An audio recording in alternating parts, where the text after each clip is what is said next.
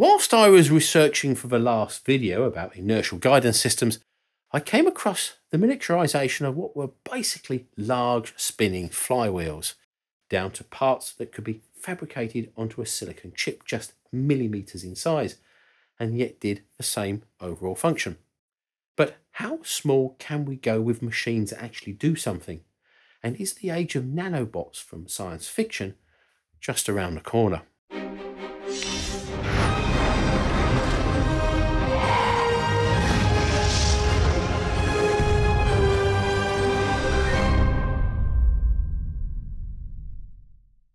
As many of you already know, a lot of my videos deal with the history of technology and the results which we are left with today.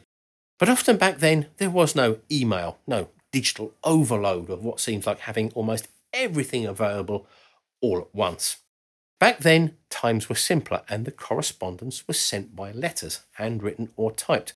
But it can be fascinating to see what was said between some of history's most interesting and important people and now you can relive the letter opening moments by having authentic copies of these documents sent directly to you by post. Yes, the real thing, actual paper through the letterbox. And this is where historic mail comes in. Historic mail was started by a group of history buffs who relished the idea of getting letters from historical figures on a weekly basis delivered direct to their door. Each week, for 10, 25, or 52 weeks, you or whoever you want will receive an authentic copy of a letter from a historically significant person along with the historical context behind that letter. A couple which I picked out were from Walt Disney to the then Vice President Richard Nixon in 1956 and from Roosevelt to Churchill in 1942. The thing that struck me was that although these letters are 67 and 81 years old, the issues they discuss have very similar parallels to today. Disney, whilst inviting Nixon to a young reporter's interview, said that they would have some very challenging questions for the vice president, like when they grow up, why should they vote Republican? And of Roosevelt to Churchill, talking about how he was constantly being plagued by the press, who were persistently magnifying relatively unimportant domestic matters when there was the existential threat of war from Germany and Japan. The American History gift pack covers letters from 1776 with the founding of a republic all the way to 1976 at the height of the Cold War. Historic Mail makes the perfect gift for history lovers. So this holiday season, why not surprise your loved ones with this timeless gift? And now you can enjoy 10% off of all their products with their Christmas sale. Go to historicmail.com forward slash droid and use the code droid to get your gifts now and help support us here at the channel. For centuries, the size of things we could actually make was limited to our ability to physically handle the objects, tools, and see what we were doing. For example, the fine watches built by Jaeger-LeCoultre are still the smallest mechanical watches ever built. The caliber 101, first made in 1929 and still made today, is just 14 millimeters long by 4.8 millimeters wide by 3.4 millimeters high and weighs about 1 gram. Each of the 98 components are custom made by hand and weighs in the milligrams range. But they are so time consuming to make, and so few of the watchmakers have the requisite skills to make them that just a few dozen examples are made each year. Beyond this level, the parts must be made by other processes, our hands are just too large and their movement is larger than the components themselves. Clearly, new methods had to be found. It would be the physicist Richard Feynman who would set the wheels in motion when he gave a lecture at Caltech on the 29th of December 1959, titled There's Plenty of Room at the Bottom An Invitation to Enter a New World of Physics. In the unscripted talk, he laid out the idea of manipulating individual atoms one by one and that in principle it would be possible to make nanoscale machines that arrange atoms in the way we want and do chemical synthesis by mechanical manipulation to create new materials not found in nature. The only problem was we lacked the technology to do this. Feynman put forward an idea that by using machines to build machines, and each generation would make the next generation of even smaller machines, and smaller and so on and so forth, and in greater and greater numbers until you reached the molecular level and you had billions of machines to create massively parallel operations.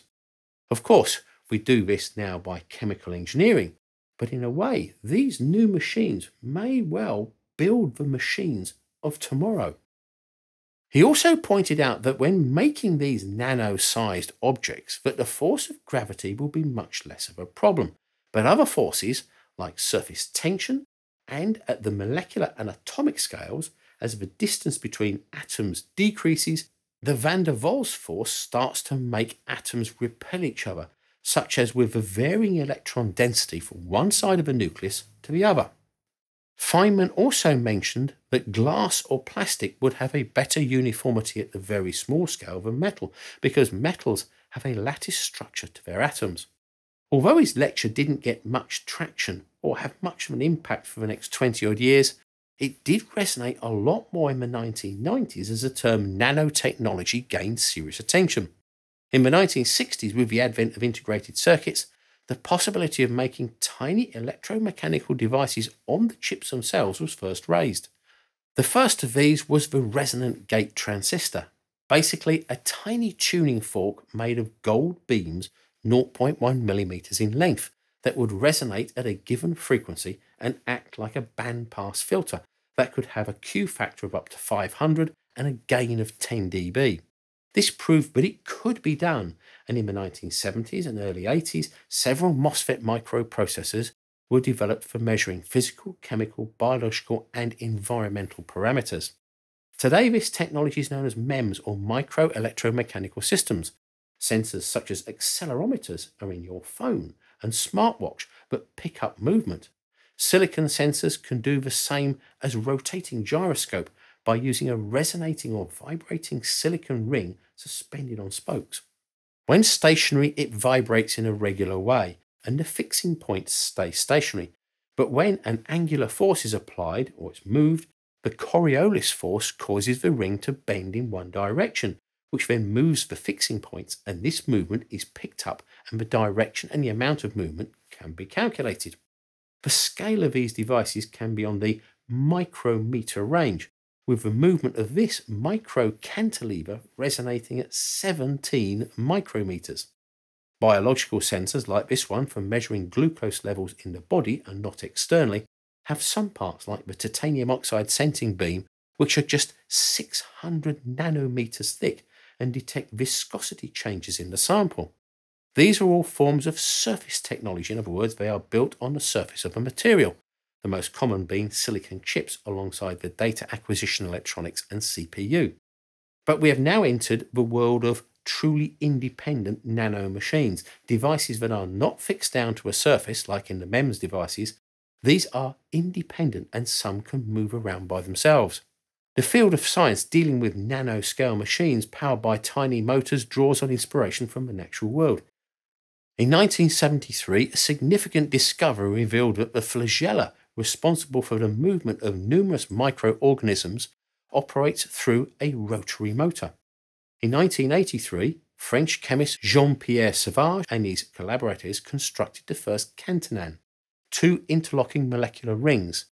These are unusual because they are not linked by chemical bonds, but by physical ones like the links in a chain. The next step was taken in 1991 when Scottish chemist Fraser Stoddart and his collaborators created a rotaxane, a cyclic molecule like the catenane, threaded onto an axle molecule and end capped by bulky groups to stop it from coming off. So now we have a ring with an axle on it. In 1999, two groups led by Ross Kelly and Ben Feringa, respectively, built molecular rotors that had blades that moved in only one direction.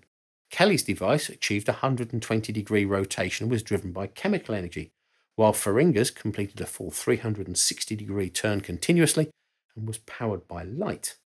Then in 2011 came the nanomotor, when researchers at Tufts University, USA produced what was then the smallest electric motor, measuring just one nanometer across and consisting of 18 atoms. It consists of a single molecule of butyl methyl sulfide on a copper surface, which can be made to rotate using electrons.